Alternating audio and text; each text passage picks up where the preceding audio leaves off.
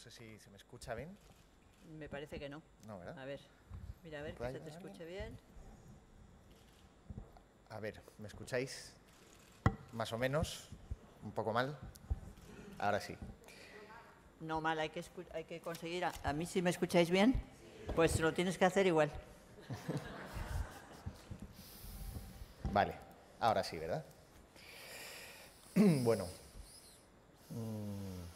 para mí un orgullo el, comparecer en esta, en esta rueda de prensa con, la alcaldesa eh, para anunciar un paso muy importante en la profundización democrática en esta ciudad. Cuando pensamos en lo que es la democracia, eh, si pensáis cualquiera de vosotros, ¿qué, qué es, qué es la democracia? Bueno, la democracia es que tú decidas, ¿verdad? La democracia es que cualquier persona pueda, pueda participar en la toma de decisiones de lo que ocurre, de cómo es, de cómo es la ciudad en la que vives, de cómo es el país en el que vives. Eh, bueno, eh, sencillamente, algo tan sencillo parece que es muy difícil de llevar a la práctica. Bueno, eh, como se lleva a la práctica esto es a través de mecanismos de participación ciudadana, es decir, que sea la propia ciudadanía la que pueda participar en el proceso de toma de decisiones que si tú propones algo eh, y la mayoría está de acuerdo, lo puedas llevar a, cabo. Y esto es lo que hemos aprobado. El, el- jueves pasado, en la Junta de Gobierno, aprobamos las directrices para el derecho de propuesta. Este el derecho de propuesta es un derecho eh, individual y, y colectivo de la ciudadanía de eh, proponer a, la- a la- a las instituciones eh, acciones concretas ¿no? para que lleven a cabo. Bueno, la manera en la que, hemos eh, planteado estas directrices permiten que cualquier persona eh, pueda hacer una propuesta al ayuntamiento, una propuesta de actuación, si esa propuesta recaba el apoyo del 2% del, padrón de mayores de 16 años de, Madrid, que es en torno a 53.000 personas, esa propuesta el Gobierno o bien la lleva a cabo, porque la hace suya, porque eh, está de acuerdo, o bien la somete a votación. Y si en esa votación la ciudadanía decide apoyar eh, esa propuesta, se llevará a cabo y si decide rechazarla, pues no se llevará a cabo. Es tan sencillo como eso, es un, mecanismo muy sencillo. La democracia no, tiene por qué ser eh, algo muy complicado, ¿verdad? Esto es un mecanismo que lleva funcionando mucho tiempo en muchos sitios del mundo, es decir, aquí parece algo muy innovador, pero en realidad en Suiza desde 1848 tienen un mecanismo muy similar y bueno, está funcionando en estados de Alemania, en estados de Estados Unidos, en muchos sitios del mundo, en muchísimas ciudades del mundo. Y lo bueno también es que es un mecanismo testado, es decir, los, la- las votaciones, sean referéndum o votaciones, consultas populares de cualquier tipo, eh, por iniciativa ciudadana, por iniciativa popular, eh, son un mecanismo que se, que se ha podido medir precisamente porque hay países en los que algunos estados lo tienen, otros estados no. Entonces hay cientos de estudios sobre los efectos que producen. ¿no? Entonces se sabe qué efectos producen. Hay una serie de argumentos que se suelen esgrimir en contra de la democracia participativa. Las, personas que están en contra de la democracia participativa siempre suelen argumentar un- un- una serie de cosas. Una de ellas es, eh, bueno, suelen argumentar que si este mecanismo se pone en práctica, lo que va a ocurrir es que la gente va a proponer siempre bajarse los impuestos y subir el gasto público, ¿no? Y entonces eso eh, va a generar que quiebre eh, las, las administraciones. Como decía, lo bueno de que hace- haga tanto tiempo ya que estos mecanismos están en funcionamiento es que se ha podido medir si eso es cierto o no. Y los estudios lo que dicen es que se genera un 7% menos de deuda en aquellos lugares donde estos mecanismos están, eh, están en, en- en- uso. ¿no? Claro, si lo pensamos tiene sentido. Cuando la gente de- puede decidir mm, hacia dónde se van a gastar el dinero de sus impuestos, pues la gente eh, opina de manera muy razonable. ¿no? Estas, estas cosas que, eh, que pueden ocurrir de gastos tremendos, ¿no? Eh, podemos hablar de aeropues- aeropuertos mm, peatonales y, y cosas muy locas, no es lo que se propone cuando es la ciudadanía la que participa, sino más bien al contrario, es lo que se puede llevar a cabo cuando un grupo muy reducido de gente eh, toma las decisiones sobre el gasto del dinero de toda la ciudadanía.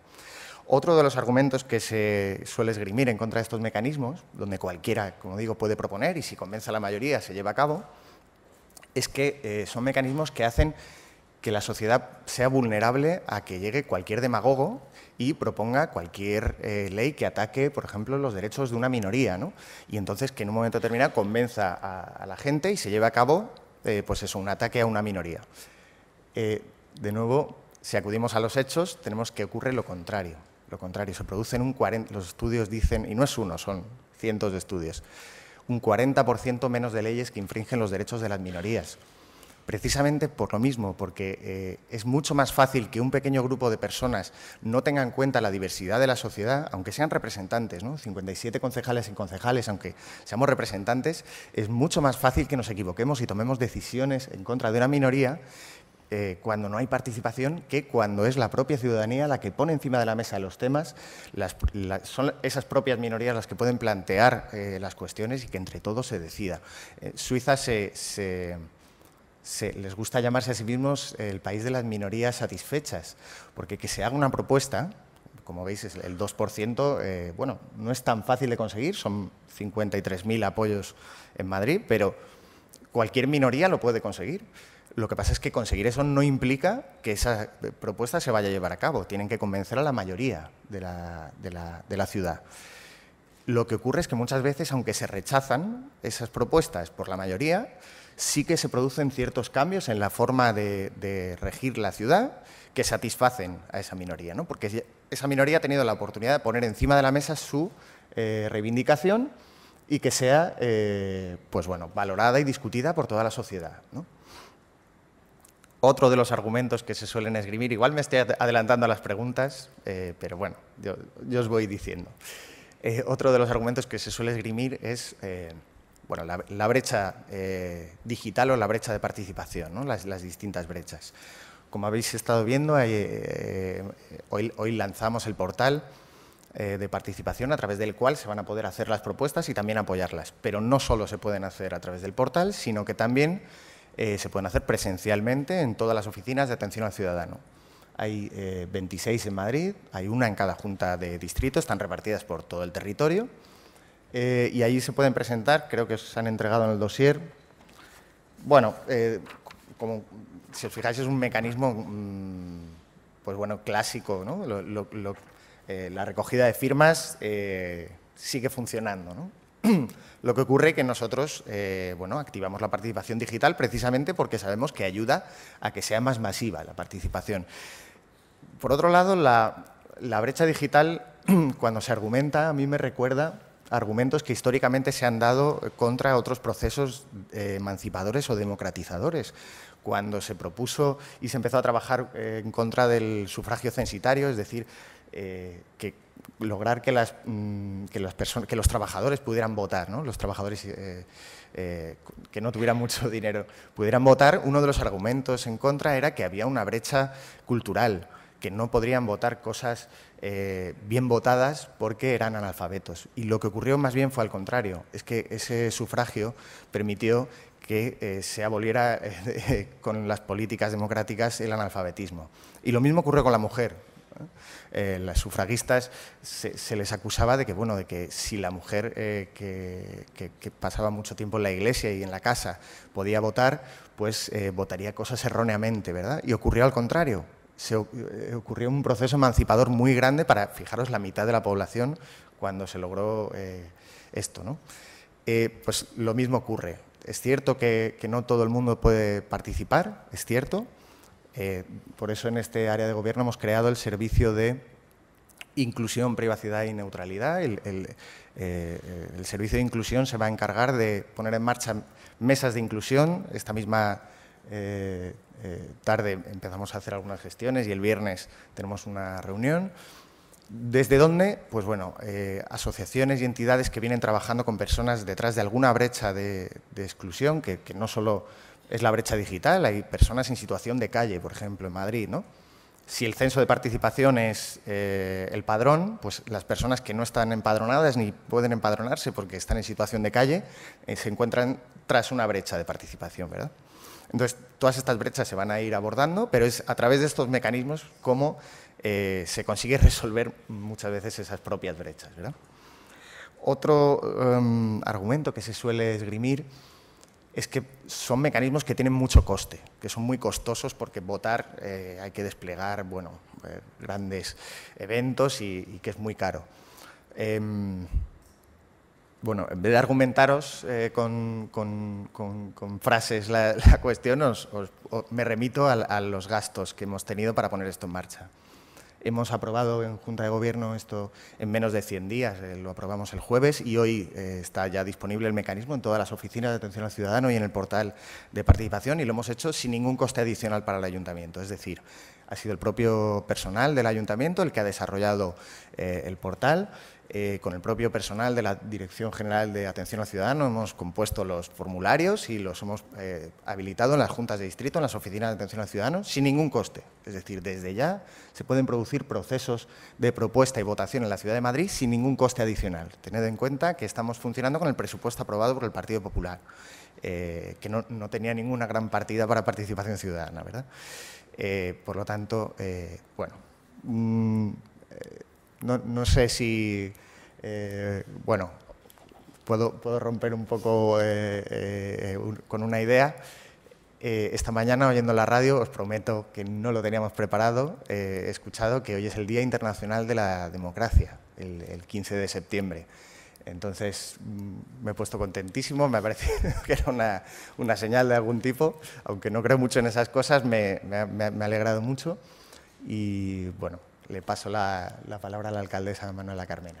Venga, muchísimas gracias Pablo por tus palabras y sobre todo por tu trabajo que ha sido fantástico. Muchísimas gracias.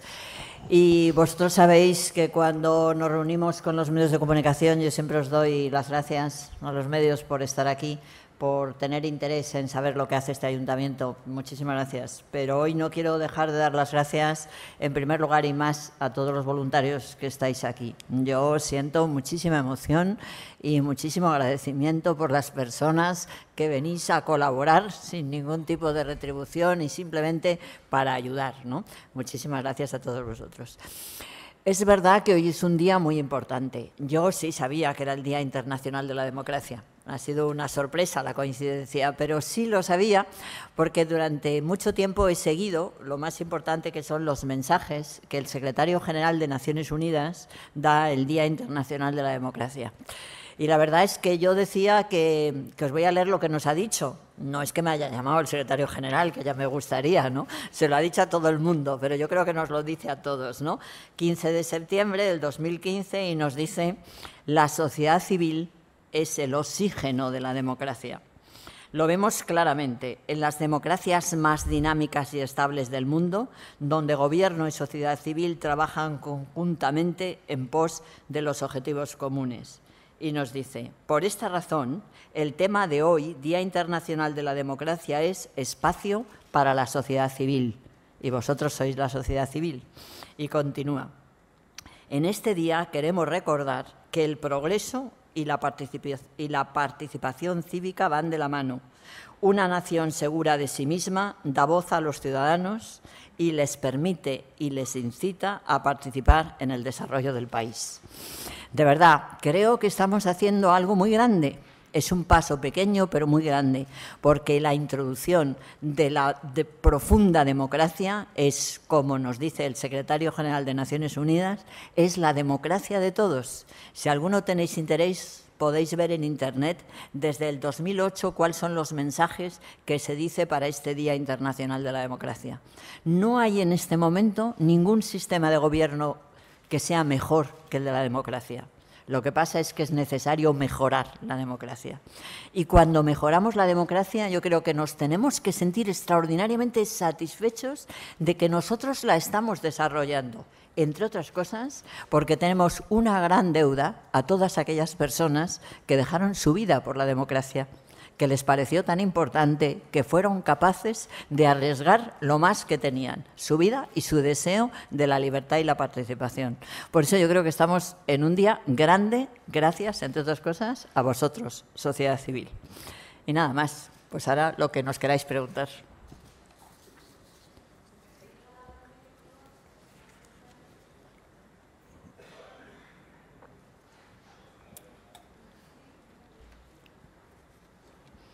Hola, eh, ¿se me escucha? Sí. Hola, ¿qué tal? Soy Diego Ruiz de la cadena COPE.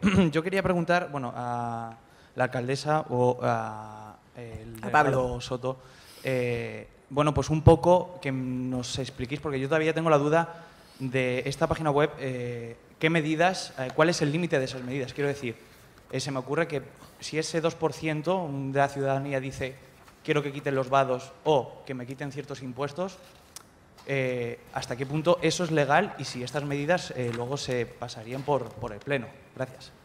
Sí. Mm, bueno, es muy importante eh, entender que este mecanismo no cambia el, marco en, en, el que se maneja el ayuntamiento.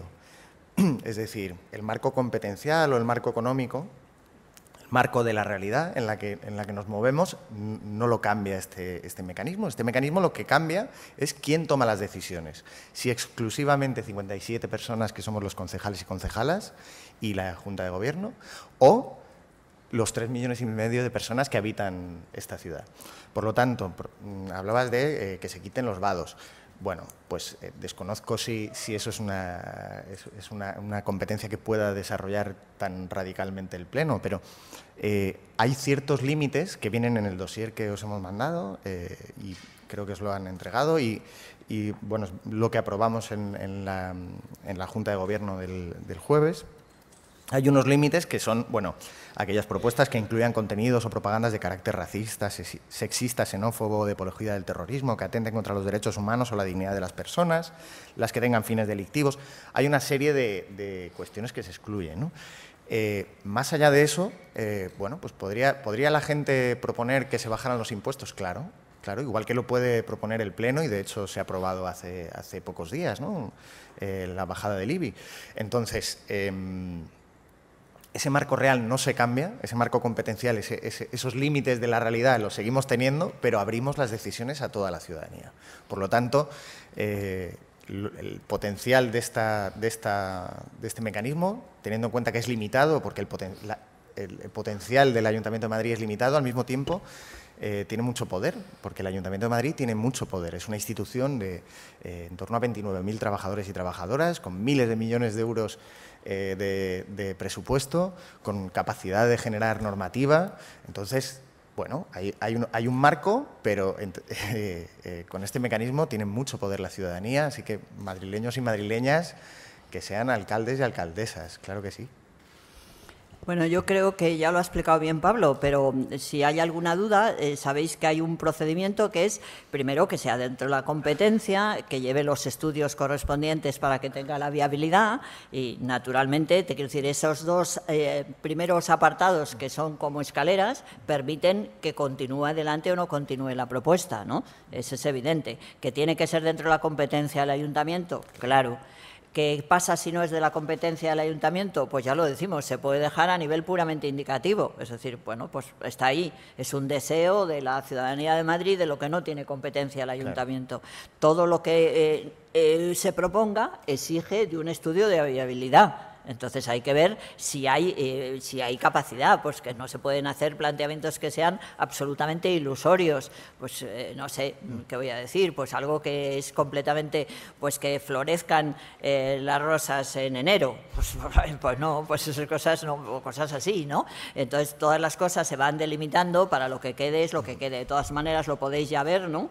viendo en la página, pues yo creo que muchas veces cuando hablamos de muchas teorías, pues lo mejor es la práctica yo sabéis que soy siempre súper partidaria de evaluar, todo hay que evaluarlo. Entonces yo creo que cuando ves lo que tenemos en decidemadrid.es, pues ves que están diciendo...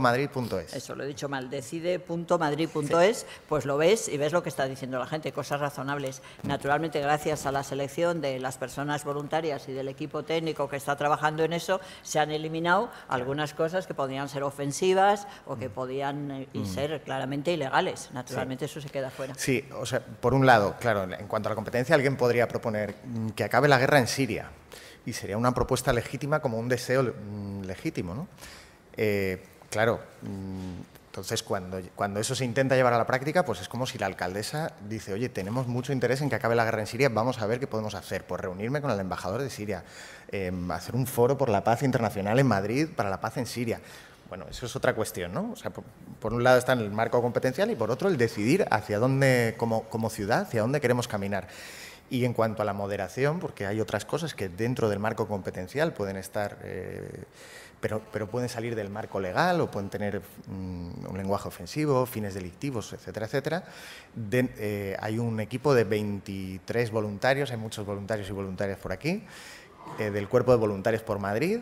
Les, bueno, les, les contamos que estábamos haciendo esto y mm, 300 eh, personas contestaron a la convocatoria y son esos mismos voluntarios que no están adscritos, como sabes, a ningún partido político, sino que están adscritos a la ciudad y van a todas eh, las cuestiones de voluntariado de la ciudad de Madrid, los propios que están eh, haciendo la moderación de qué cosas salen del marco objetivo que hemos planteado y que hemos aprobado. Y son funcionarios de la, Dirección General de Participación los que supervisan y ayudan a los voluntarios.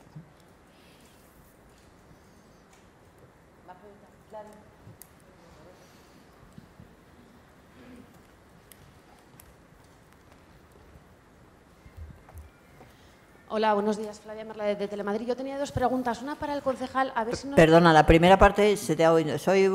Flavia Merla de, Telemadrid. Ah, gracias. Tenía gracias, preguntas. La primera para el concejal, a ver si nos puede explicar un poquito más esto que ha dicho del servicio de inclusión, en qué consiste, cómo va a ayudar a la gente, a qué tipo de gente. Y luego tenía una pregunta para la alcaldesa. Eh, es sobre las denuncias de los sindicatos de la policía después de que no se haya renovado el contrato de los coches eh, que se pierde, creo que es un tercio de los coches patrulla, pues denuncian que no van a poder eh, cumplir como están cumpliendo hasta ahora. No sé qué tiene que decir esto y cómo solucionar este problema. Gracias. Bueno, en referencia al servicio de, inclusión, bueno, hemos, creado dos servicios que, tienen bastante relación con esto. Eh, dentro de la Dirección General de Participación Ciudadana hemos creado el Servicio de Promoción, Difusión y Extensión Institucional que se encarga de tratar de lograr, haciendo campañas y, difusión, tratar de lograr que todos los madrileños y madrileñas se enteren de que estos mecanismos están en marcha y de que tienen estos nuevos derechos de participación, el ejercicio del derecho de propuesta, que se entere toda la ciudad. Pero claro, como decíamos antes, hay personas que por, estar en cualquier situación están detrás de algún tipo de brecha, que no solo puede ser la brecha digital, sino puede ser una brecha de la brecha de la pobreza o la brecha eh, de cualquier tipo de exclusión, ¿no? estar en situación de calle, etcétera. Entonces, no siempre la promoción y la difusión, por mucho que yo os vaya a dar la paliza todos los días y vaya a intentar que todos los medios de comunicación estéis dando mucha difusión a esto, eh, no, no solo por eso se llega a toda la población. Entonces, es el servicio de inclusión el que establece mesas que, no son otra cosa que puntos de encuentro y de, diálogo y tratar de tender puentes con asociaciones y personas que se encuentran en situación de exclusión, para que sean desde allí mismo, es decir, que no seamos nosotros los que estamos ya incluidos en la sociedad, los que decimos, bueno, pues vamos a probar no sé qué estrategia para tratar de incluir a estas personas, sino que sean esas propias personas las que nos puedan indicar ¿Qué necesitan para sentirse incluidas en estos procesos? ¿Qué les falta? Pues a lo mejor nosotros pensamos que les falta que no tienen internet y no es eso. El problema es que a lo mejor ni siquiera están inscritas en el padrón o eh, no lo sé. Precisamente el objetivo de, ese servicio es eh, crear esas, esas mesas donde se pueda atajar ese tema desde la, desde la fuera de la institución, que es desde donde se pueden encontrar quizá más fácil las, las propuestas y las soluciones. Te oigo. Que si podrá votar gente que no está empadronada, te ha preguntado. Claro, esa es una de las propuestas que puede que, se hagan, ¿no? Eh, que, se haga un censo eh, de participación paralelo al, además del, padrón, que es el censo de participación, el padrón de mayores de 16 años, que se haga un, censo eh, específico para personas que habitando en la ciudad de Madrid por cualquier motivo no se pueden empadronar. Eso es una de las mm, propuestas, pero a lo mejor hay, otras cuestiones, que es que puede ser atajar directamente el problema de que en el padrón no esté todo el mundo que debe ir a estar. Es decir, precisamente para que se atajen esos problemas eh, y, sean las propias personas que los están sufriendo las que puedan eh, indicar cuál sería una solución satisfactoria para, su situación, se crea este servicio de inclusión. Bueno, yo quería, eh, Flavia, luego lo de la policía lo contesto después, una vez que hayamos acabado todo esto, ¿no? Ningún inconveniente. Pero yo sí quería deciros que me parece muy importante que seamos, que estemos orgullosos de Madrid, porque ahora mismo estamos a la cabeza de la participación. Si seguís por internet, veis lo que Ana Hidalgo, que ya sabéis que es la alcaldesa de París, que además tenemos la suerte que es española. Yo os tengo que decir que la conocí en Roma y es simpaticísima, tiene mucha gracia porque habla, habla mm, de Cádiz. es decir, bueno, es una española estupenda, aunque también es francesa, y ellos están ahora mismo con el proceso participativo. Si lo seguís, ves que los parisienses, eh, parisienses están diciendo, pues si queremos más jardines, menos, etcétera, ¿no? Súper interesante. En esa línea os digo que también es muy interesante lo que está haciendo el alcalde de Nueva York, Ville de Blasio, que están empezando a eh, conseguir eh, wifi gratis en todos los barrios porque se dieron cuenta que había muchos barrios a los que se estaba refiriendo, a los colectivos a los que se refiere cuando vemos esa, esa exclusión que se produce por no gozar los medios técnicos, pues uno de los objetivos de Blasio, eh, del alcalde ahora mismo de Nueva York, es generalizar el wifi gratis, ¿no? Es decir, que yo creo que en esa medida es bonito que estamos a la cabeza de dos ciudades tan importantes, junto con ciudades tan importantes y en cierto sentido a la cabeza. Y si no hay más preguntas, luego me meto con lo de la policía, pero era para no desvirtuar. Sí.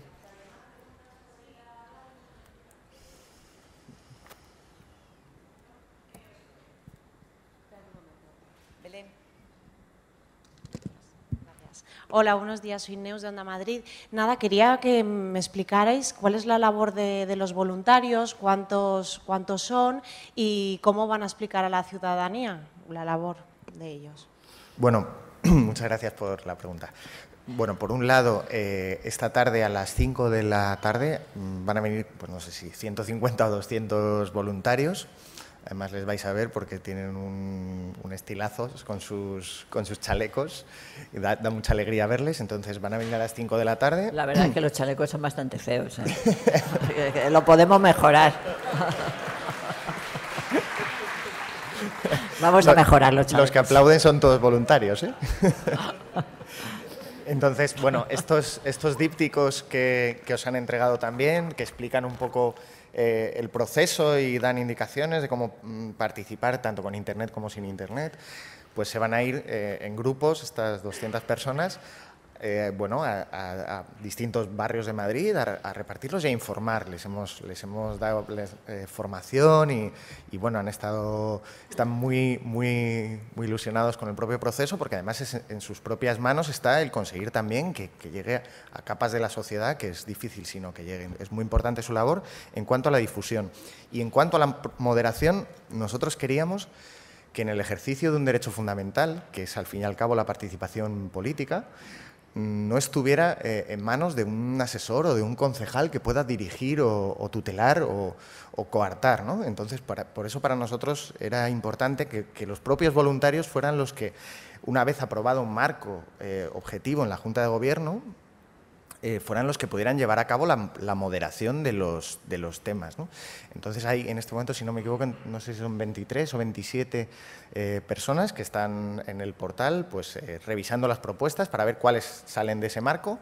y son los funcionarios a los que les llega bueno, la, la, decisión final de, oye, los voluntarios han moderado esto, pues bueno, supervisar por si acaso hubiera algún fallo, algún error. ¿no? Pero, eh, como digo, no son decisiones políticas, sino que son decisiones técnicas hechas por voluntarios por Madrid, supervisadas por funcionarios de la casa que, que estaban antes de que llegáramos nosotros y seguirán cuando nos vayamos. Hola, aquí buenos días. ¿Qué tal? Soy Enrique Riezo de Europa Press. Eh, yo, al margen de este asunto también, de esta presentación, quería preguntarle sobre el tema de hoy del día, la controvertida fiesta del Toro de la Vega. ¿Cuál es su posición? No, se oye, oye. ¿Ahora? ¿Ahora? Sí. Aquí. Bueno, repito todo. Eh, Enrique Riezo, de Europa Press Televisión. Eh, al margen de esta presentación, quería preguntarle a la alcaldesa Manuela Carmena acerca de su posición, acerca de la controvertida fiesta del Toro de la Vega que se celebra hoy. ¿Cuál es su posición? Si quizá los ciudadanos de Madrid pedirían en esta web que se celebrase algo similar aquí, ¿se permitiría? Eh, doy por hecho que ya no hay más preguntas en relación con eh, la propuesta de participación y pasamos ya a las otras o qué.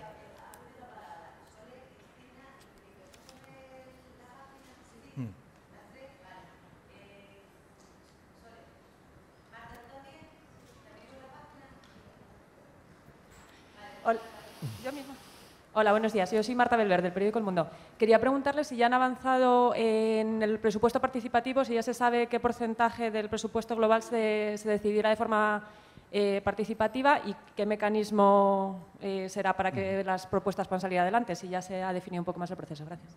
Muy bien. Em, bueno, estoy en el proceso de reunirme con todos los concejales de distrito y, bueno, es no, quiero que se enteren por la prensa de, todavía de cosas que están, que están avanzadas. Pero bueno, os puedo adelantar que eh, el 1 de enero empezará el, proceso y bueno, y obviamente lo, anunciaremos antes, ¿no? en torno a principios de diciembre. Eh, y, a, partir del 1 de enero iniciará el, proceso de recogida de propuestas. El porcentaje eh, de presupuestos que va a ser destinado de forma participativa es una cifra que tenemos que consensuar con la oposición. Como sabéis, somos un gobierno en minoría y eso se tiene que aprobar con los presupuestos del año que viene en el Pleno. por lo tanto, no puedo adelantar una cifra, primero, porque no, no no, es, no, es, una competencia mía y segundo, porque además eh, me parece que tiene que ser algo eh, del que nos hagamos cargo todos y todas, porque es, mm, es una decisión muy importante para la ciudad. Es cuánto eh, del dinero de inversiones vamos a poner en manos de la decisión de la, de la propia ciudadanía. Em, no sé si tenía alguna otra parte. Está bien. Muy bien. Hola, buenos días. Soy Sol Carreras de la agencia EFE. Yo por aclarar sobre la web, si no entiendo mal, hace más de una semana ya se puso en marcha, pero solamente para promover debates. Podía debatir cualquier persona, aunque no fuera madrileño, iniciar el debate o, o continuarlo. En cambio ahora ya se pueden hacer propuestas, pero las propuestas también las puede hacer cualquier persona y luego votan los madrileños empadronados o para hacer las propuestas también hay que estar empadronado. Y por otro lado, hay cifras actualizadas eh, de los debates que se han hecho durante estos días, del número de participación, de las propuestas que perdón, de, los temas que se han podido rechazar en la web. Sí. Em, ¿Sobre quién eh, propone? Bueno, efectivamente, el, lunes eh, abrimos el espacio de debate, queríamos que fuera eh, y seguimos queriendo que sea un espacio eh, realmente abierto de debate, sin cortapisas, donde cualquier persona, sin, ninguna barrera de entrada, puede proponer un tema de debate y debatir libremente. y de manera que pueda ser la propia ciudadanía la que, la que ponga encima de la mesa cuáles son las cuestiones que le generan cierta preocupación, aunque no necesariamente en ese momento hay una propuesta concreta de actuación. Eh, por eso cada, semana vamos desde la Dirección General de Participación Ciudadana, vamos a remitir a todas, las, a todas las áreas de gobierno y a todos los distritos un informe con cuáles son los temas más debatidos que más preocupan sobre cada distrito y cada, y cada área a, todos los concejales. Lo van a tener eh, los lunes en su mesa. Em, ¿Sobre quién podía participar hasta ahora? Cualquier persona. ¿Sobre quién va a poder participar, eh, proponer en, esta fase de propuestas? También cualquier persona. Nosotros tenemos claro que eh, queremos las mejores ideas para Madrid y nos da igual de quién la haya tenido. Otra cosa es que la idea tiene que ser votada, aceptada, eh, promovida por aquellas personas a las que les va a afectar, que son las personas que habitan esta ciudad. Por lo tanto, tanto apoyar esa propuesta para que llegue al umbral del 2%, como luego finalmente votarla para ver si se hace o no o no se hace, solo lo podrán hacer eh, las personas que, viven en Madrid. Em, en, esto podemos seguro que mm, tratar de encontrar a personas eh, en el mundo que digan, bueno, pues yo tengo una propuesta para Madrid y luego si, si, llega una buena idea sería maravilloso ¿no? que, personas de, todo el mundo pudieran aportar a esta inteligencia colectiva con sus buenas ideas. Queremos las mejores ideas, da igual quién las haya tenido. Datos. Datos de, participación. Eh, bueno, mm, tengo de, en este momento me envían 217.000 eh, votos eh, a favor o en contra en los debates, 17.082 comentarios, 3.826 debates abiertos. Em, bueno, más de 100.000 visitas en la página. Bueno, la verdad que el éxito el éxito de la, de la, de la plataforma ha sido, ha sido abrumador. En cuanto al, número de debates que han sido borrados, mm, no tengo un número, pero te puedo decir que es seguro menos del 10%. eh, o sea, es siempre una minoría, lo que pasa es que yo sé que quizá mediáticamente pues sea muy exótico, ¿no? Las propuestas que, que sobre las propuestas más votadas seguro que ves que son todas como muy razonables, entonces no, no parece que sea noticia, ¿no? Que, que el, que la gente debata sobre eh, la contaminación, ¿no? porque es un debate que ya se produce en la sociedad, se pone encima de la mesa sencillamente por parte del ayuntamiento, se escucha y eso no, no es noticia y sí que son noticias las cosas un poco más exóticas, como decía, aunque sean eh, testimoniales. Eh, Cristina García Ruiz, de Radio Nacional de España, aquí. Buenos días. Quería preguntar que, cuál es el mínimo de votos para que una propuesta salga adelante. Sí. Em, bueno, esto que preguntas eh, es lo que se denomina eh, quórum. El, nombre técnico de eso es el quórum. El quórum es un, es un mecanismo jurídico que sirve para decidir, eh, para, para, establecer cuándo una decisión sometida a votación es vinculante, el resultado de la votación, o no es vinculante. Lo que ocurre es que en el marco jurídico español, en el derecho español, todas las votaciones, eh, sean votaciones en un portal o en una consulta popular o un referéndum, no son vinculantes.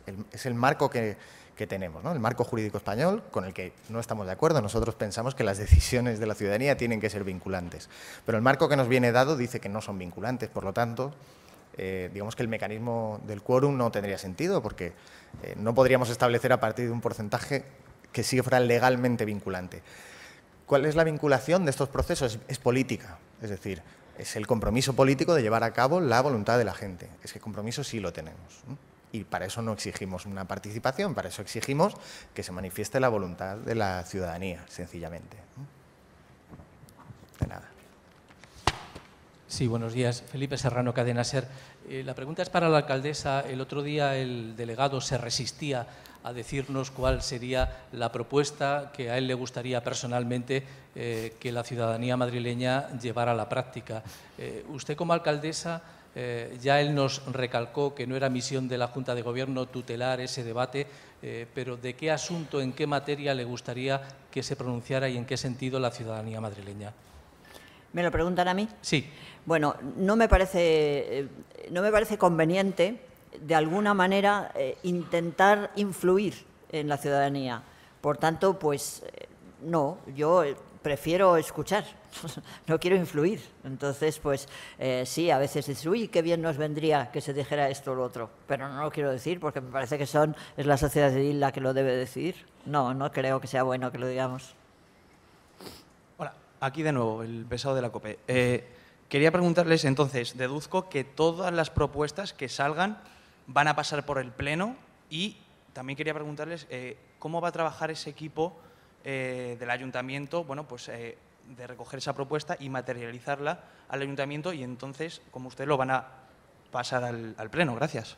Bueno, el mecanismo viene explicado bastante claramente en el dossier, porque el dossier incluye las directrices que se aprobaron en la Junta de Gobierno del jueves con todos los pasos. ¿no? es, tiene algo de complicación, no, muchas veces para intentar explicar el mecanismo es mm, a veces conveniente dejarse algún detalle fuera porque si no tardamos 15 minutos en explicarlo y cuesta llegar al final. Pero básicamente, mm, bueno, tú sabes que cualquier eh, grupo municipal, cualquier concejal o concejala puede elevar una propuesta al Pleno. Entonces, eh, el derecho de propuesta abre eso a, los tres millones y medio de personas que viven en la ciudad. Eh, además de eso, sometemos mm, a votación las, eh, propuestas, siempre y cuando no queramos hacerla directamente nuestra como acción de gobierno, lo que permite no solo que se le vea al Pleno, sino que se le vea al Pleno. Tú ten en cuenta que en la fase de, propuestas solo puedes mostrar apoyo a una propuesta, es decir, tú solo puedes firmar a favor de una propuesta, no puedes firmar en contra. Entonces, eh, la votación posterior lo que permite es expresarse a la gente a favor o en contra, de manera que cuando llega al Pleno eh, se sabe si el sentir mayoritario eh, de, la, ciudadanía en Madrid está a favor de que esto se lleve a cabo o no. Por lo tanto, se les permite participar en la decisión. Eh, este, es el, este, es el, proceso. Obviamente, como el órgano competente para adoptar decisiones, en ocasiones es la Junta de Gobierno, pero en muchas ocasiones es el Pleno del Ayuntamiento de Madrid, pues ha de llevarse al Pleno porque, como decíamos, no existe un mecanismo jurídico de vinculación directa. A mí me gustaría mucho que existiera. En Suiza, por ejemplo, existe, en Alemania existe en Estados, Estados Unidos existe, aquí no existe, y entonces pasa por el cauce legal eh, del marco que nos viene dado. Eh, ¿Qué tal? Sí, soy Kiko Rosique, Cero y Media. Entonces entiendo lo que estás diciendo, que puesto que no exigís quórum, con que un 51%, con que haya eh, una participación de 51% a favor de una propuesta, la Junta de Gobierno se compromete a considerarlo políticamente vinculante y a llevarlo al Pleno, independientemente de que luego decida el Pleno. ¿Sí? Claro, eh, como ves, mm, la propuesta puede no estar muy articulada. ¿verdad? Eh, entonces, como se detalla nuevamente en el, en dossier, las propuestas tendrán que contar con un informe favorable eh, de, bueno, se, lidera el desarrollo de la redacción de ese informe por la Dirección General de Participación, pero tiene en cuenta, por un lado, a todas las áreas de gobierno competentes o distritos competentes en la materia de la propuesta, además de a la sociedad civil en la medida de lo posible, escuchando a los sectores de la sociedad civil, pues afectados y hay afectados, asociaciones que trabajen eh, con esos temas si las hay, y a las personas que iniciaron la propuesta, la persona o colectivo que iniciaron eh, la propuesta, ¿no? la iniciativa. Eh, de manera que siempre lo que se lleva al Pleno es un, es un marco de actuación que se puede llevar a cabo, digamos, ¿no? porque como decíamos antes, la, propuesta de parar la guerra en Siria bueno, pues es un poco difícil para el ayuntamiento, pero el ayuntamiento sí que puede hacer cosas en esa dirección. ¿no?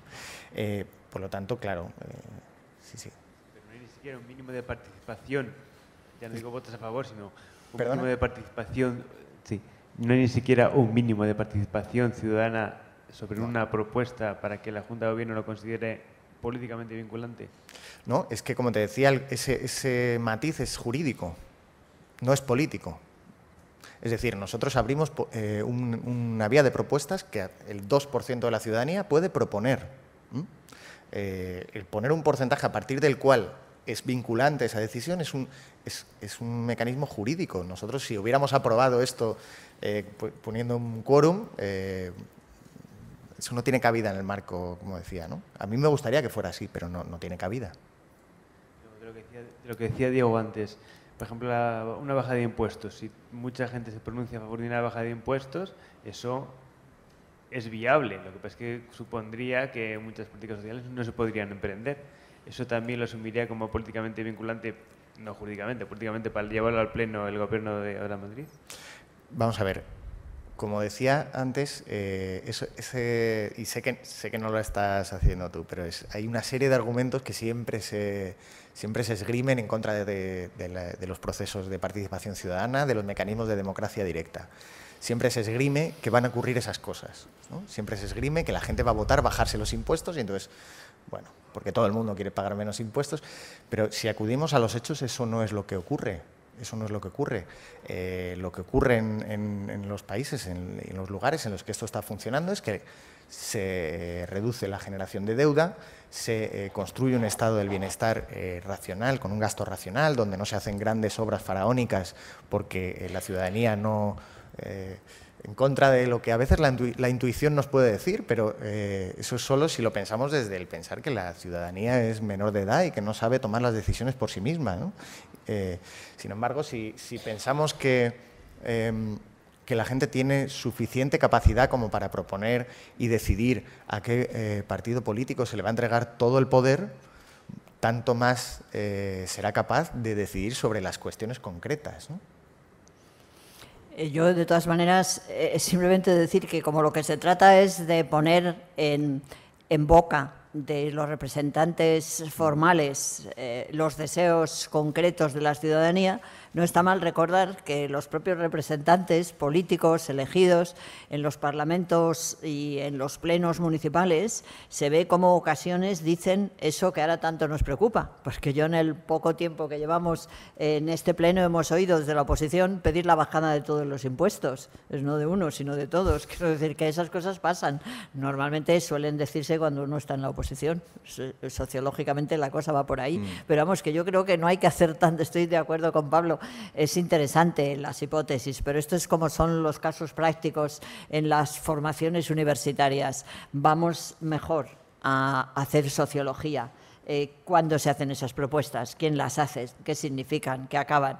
No hay problema. Es decir, yo creo que lo vamos a ir viendo. Además, hay siempre como tres ejemplos eh, que se ponen de tres sitios en el mundo donde estos mecanismos de democracia directa han producido eh, leyes negativas. Se, pone siempre el ejemplo de California, que tuvo un momento de quiebra, o eh, en Suiza se votó una cuestión al respecto de los minaretes y, al respecto de la inmigración. Lo que pasa es que por cada uno de esos tres ejemplos que siempre se ponen y siempre son los mismos, mm, de eh, leyes negativas aprobadas con mecanismos de participación ciudadana, yo te puedo poner 30, 40 o 100 eh, ejemplos de leyes no solo tan malas, sino infinitamente peores, aprobadas en democracias representativas puras en las que no se le permitía a la gente expresarse en contra, a pesar de que a lo mejor el 90% de la población estaba en contra de esas leyes. Y no hace falta que nos vayamos a, sitios exóticos, en, este país ocurre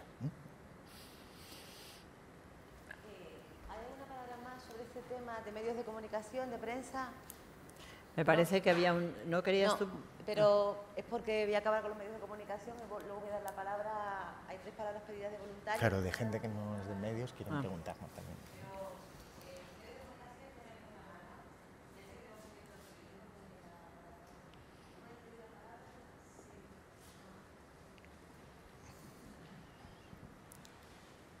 Hola, buenos días voluntaria por Madrid, Monse. Gracias. Eh, quería preguntar una cosita. Cuando se hacen varias propuestas muy similares, eh, que ya pasa en otros, en otros temas, ¿cuál se vota? ¿Cómo va el tema? Porque a veces en un tema en el que yo estoy metida se ha hecho una propuesta, se ha rechazado, luego otra persona ha venido con la misma propuesta planteada de otra forma y se ha admitido a votación.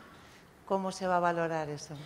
Claro, eh, Fíjate que el, proceso este, eh, si, nosotros no hubiéramos emprendido también el camino de permitir la participación digital eh, y fuera sencillamente participación física con estas hojas eh, de firmas, como decía, fíjate que, el ayuntamiento mm, no vería siquiera la propuesta hasta el momento en el que ya están recogidas las 53.000 firmas, ¿no? llega por, por ventanilla, se pueden presentar en el registro de cualquiera de las, de las 21 juntas de distrito y llega la propuesta tal cual, sin que tú tuvieras la ocasión de, supervisar en ningún punto hasta que se presenta la propuesta. Por lo tanto, no tendría mucho sentido que nosotros en la web tratemos de eh, eh, intervenir cuando hay propuestas por plataformas a lo mejor que luchan por los mismos derechos pero con matices distintos, eh, intervenir en ellas para como discernir cuál es la que, eh, si se han de fusionar o si una tiene que tener más visibilidad que la otra. Por lo tanto, esto lo dejamos abiertos a la autoorganización de la, de la ciudadanía.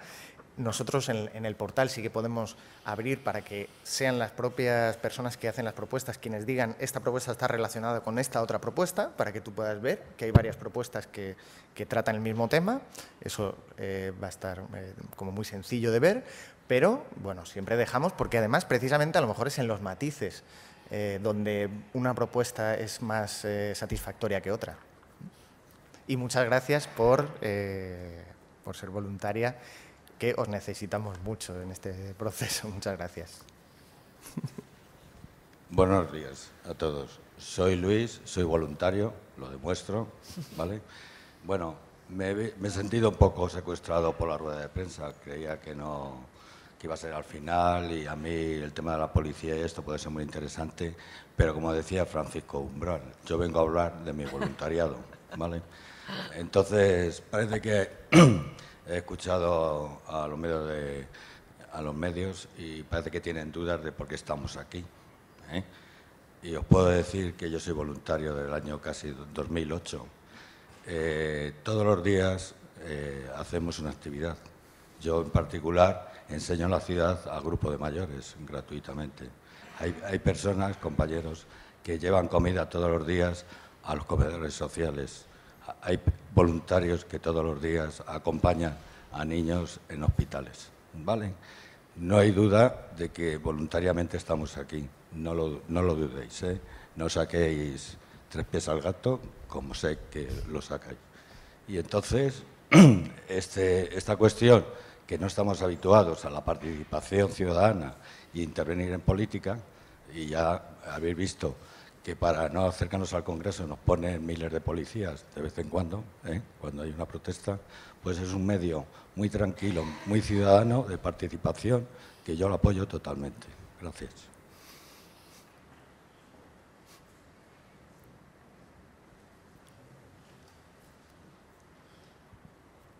Ahí había un, compañero con el jersey verde, amarillo.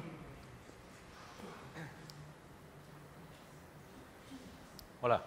Bueno, yo creo que no hace falta el altavoz. Eh, yo quiero saber si todas las propuestas...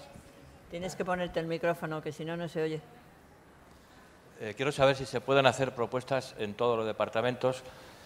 Eh, yo antiguamente llevaba un periódico de barrio y, bueno, ahora ese periódico desapareció.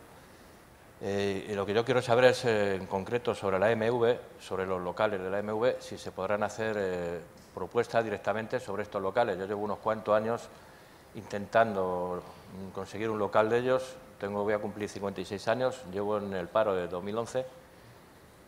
Y bueno, pues es un medio de, una forma de, que yo o otra persona nos podríamos, eh, digamos, salir adelante, pero esos locales están cerrados y no se me dan razones. Yo quiero saber si a través de este sistema eh, puedo pedir eh, pues que se, habiliten o se pongan para la ciudadanía. Gracias. Muy bien. Si me permites, Pablo, que por supuesto que sí, pero es que eso no es necesario porque lo estamos precisamente planteando en la empresa municipal de la vivienda, el cómo ceder esos locales a las personas que queráis poner en marcha negocios y estamos justo en este momento ahora elaborando eh, la estructura de la organización para poder hacer esas cesiones, porque nos pesa y odiamos el que haya tantos locales vacíos y lo que queremos es que se rentabilicen. Entonces, eh, la propuesta tuya ya está, pero es que además me lo apunto cuando salgamos para decirte con quién tienes que hablar. ¿Vale?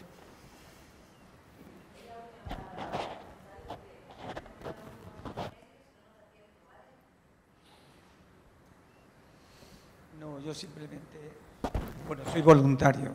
Simplemente quería decirles a, vosotros si conocéis o sabéis que hay un albergue ¿Que hay un? Un albergue tipo barracón en el camino de, del Pozo del Tío Raimundo que se cierra el 19 de marzo y tiene capacidad para 130 personas. Con cuartos de baño, con salón, con televisión y, todo. Y no sé por qué se cierra el 19 de marzo, cuando cuando se acaba la campaña de frío. Bueno, no sé, si eso lo conocéis. Sí, sí, eh, lo conocemos y estamos eh, intentando que no se cierre, que se abre, darle además otra alternativa, porque uno de los temas muy importantes que tenemos que resolver es las personas sin hogar. En este momento hay 700 en Madrid, en el invierno 1.600, porque tenemos la impresión que viene mucha gente de, de dentro de la Comunidad de Madrid y tenemos varias iniciativas en este momento que las estamos desarrollando. Ya las iréis viendo. Muchas gracias.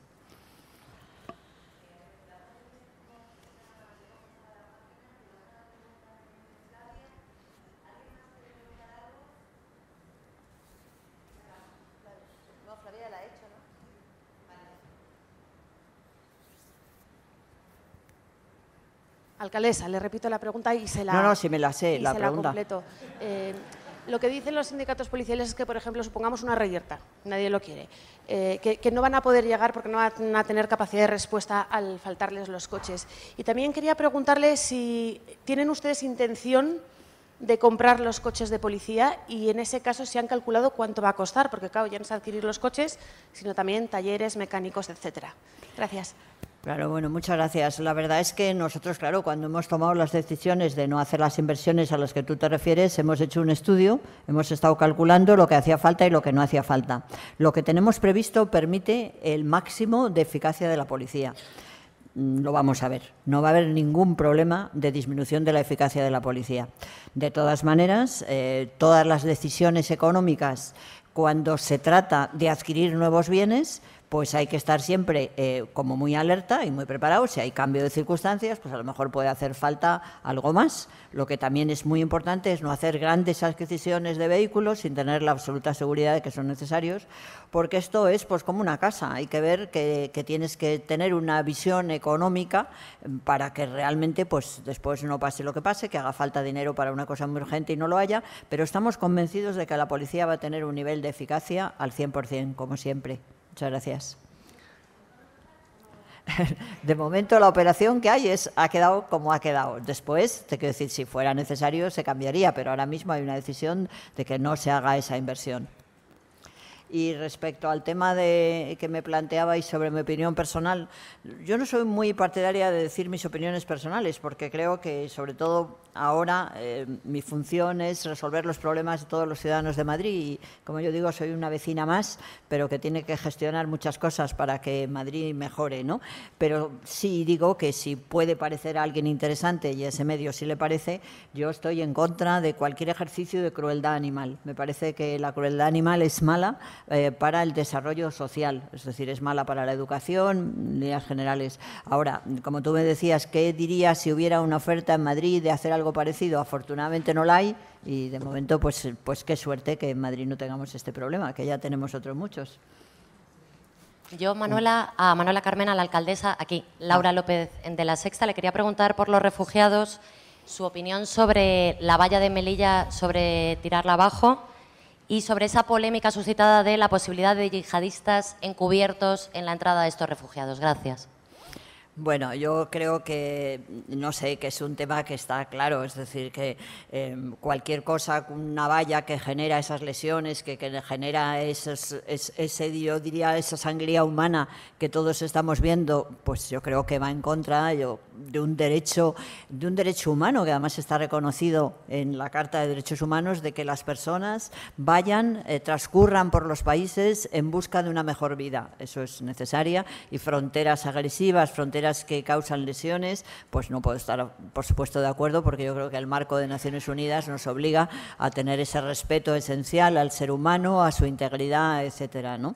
Respecto a que pueda haber yihadistas, mm, me parece que no hay nada que indique que eso pueda ser así. Es decir, y por tanto creo que son de esos temas que de alguna medida alguien dice algo poco prudente desde mi punto de vista y después pues en los medios tiene una resonancia. Yo no tengo ningún dato ni creo que nadie nadie tiene en este momento para deducir que pueda haber un riesgo de esas características.